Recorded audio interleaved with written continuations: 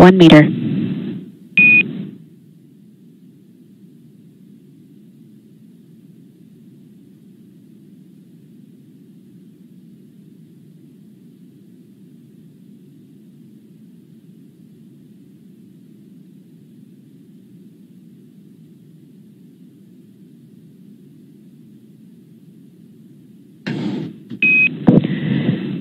Dragon contact and soft capture complete.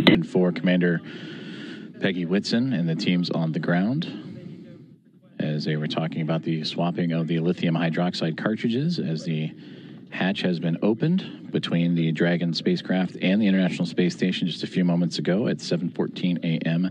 Central Time and this is a view inside the International Space Station looking forward if you will as the astronauts and cosmonauts aboard are looking up. That is towards the space facing port of the Harmony module. That's where they are in now.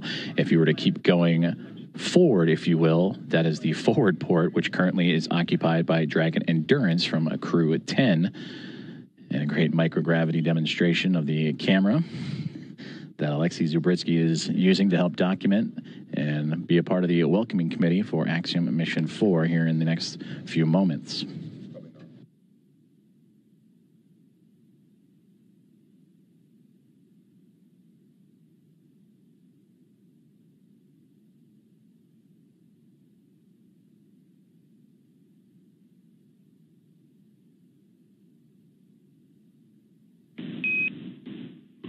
Dragon Houston on the big loop. Just to confirm, we want to make sure IMV duct installation is complete before we do LiOH cartridge sealing. Yes, the IMV duct installation is complete. Uh, my bad, I didn't get it reported. Houston copies.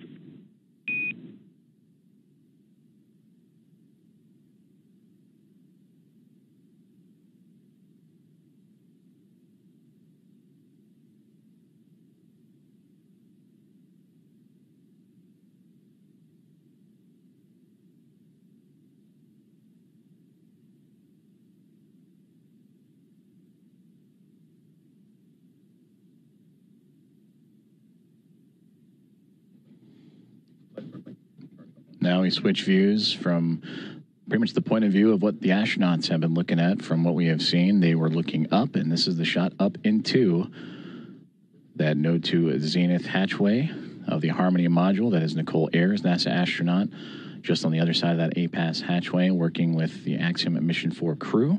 You heard them talking about IMV ducting and LiOH cartridges. That IMV ducting helps mix the air of the International Space Station environment with the air inside of Dragon and then also looking to seal up some of those lithium hydroxide cartridges that are used to scrub carbon dioxide from the air in the spacecraft on their journey to the International Space Station. And that journey started yesterday morning, 1:31 a.m. Central Time, 2:31 a.m. Eastern, as they would launch the uh, SpaceX Dragon, newly named Grace spacecraft, on a Falcon 9 rocket from Launch Pad 39A at NASA's Kennedy Space Center, and would chase down the International Space Station earlier this morning at 5:31, nearly two hours ago. 5:31 a.m. Central. 6:31 a.m. Eastern. A little bit more of a day's transit. Houston and uh, SpaceX Dragon arrival, arrival configuration is complete.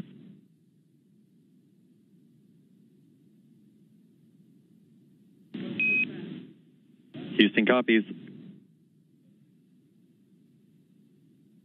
SpaceX copies.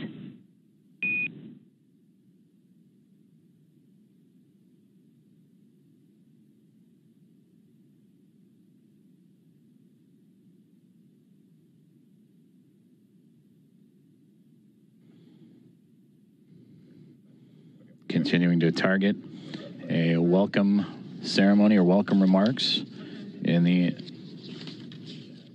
near future at 8:35 a.m. Central Time. So a little bit more than an hour from now is Axiom Mission 4 and the International Space Station continuing to work through hatch opening procedures, but getting close, you can start to see a little bit of a window of opportunity that was just on the other side of astronaut Anne McClain and Nicole Ayers there as they are working on IMV ducting, mixing the air of the station and Dragon.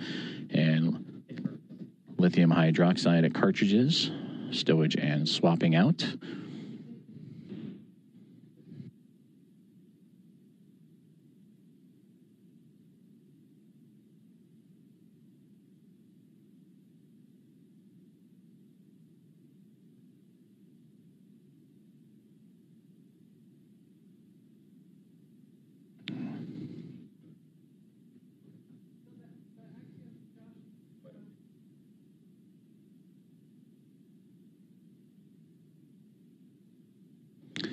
So Anne McClain and Nicole Ayers are starting to clear out the hatchway, and we are going to see the first views of Axiom Mission 4.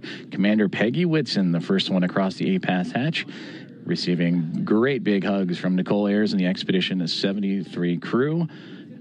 Axiom at Mission 4, welcome aboard the International Space Station. Pilot Shubhanshu Shukla is the next one to come across, representing ISRO. It is his first space flight for Peggy Whitson, her return to the International Space Station on her fifth flight, second as a member of Axiom Space.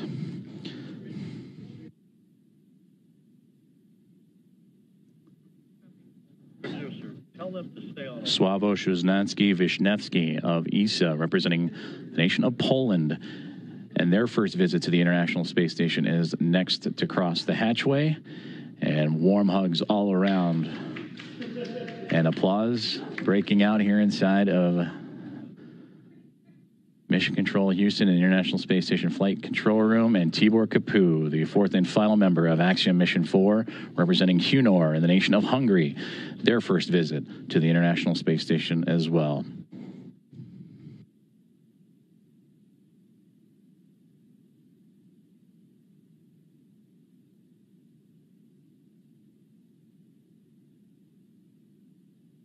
Great big hugs and handshakes across all members of Expedition 73 and Axiom Mission 4 is Anne McClain and Nicole Ayers of NASA, along with Jonny Kim, Kirill Peskov, Sergei Ryzhikov, and Alexei Zubritsky of Roscosmos, and Takuya Onishi, commander of Expedition 73 and of JAXA, with handshakes and hugs for Peggy Whitson, Shubhanshu Shukla, Sławosz Uznański-Wiśniewski, and Tibor Kapu. And with their arrival to the International Space Station, that now makes 288 visitors to the orbiting laboratory.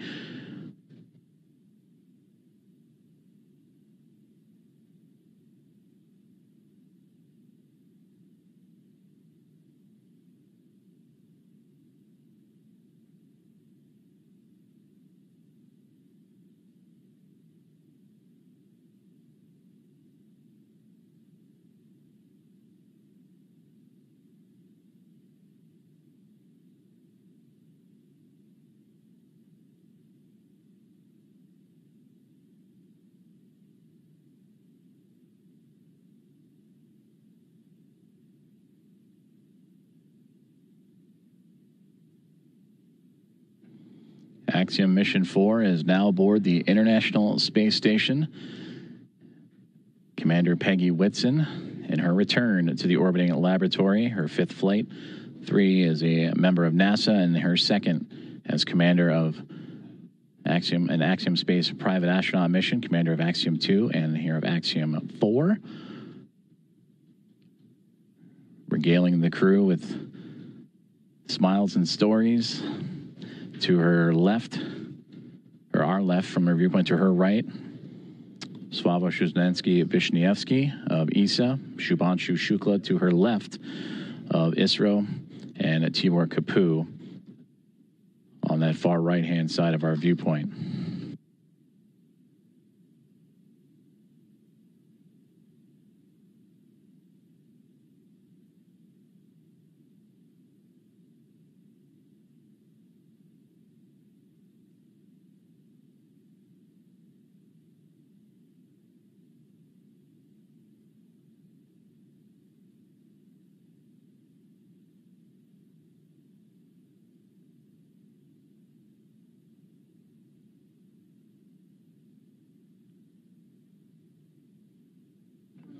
The crew is safely aboard the International Space Station. Welcome again to Axiom Mission 4. And we are continuing to target a formal welcome remark from the crew and being joined by the Expedition 73 team as well. That'll be at approximately.